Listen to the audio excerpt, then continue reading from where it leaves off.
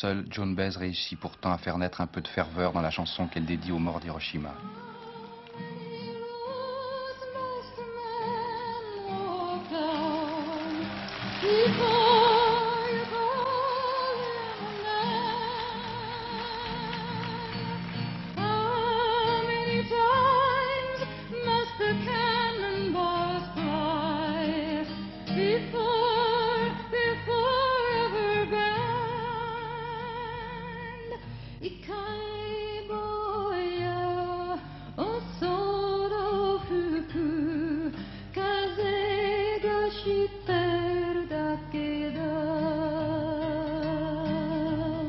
Japanese.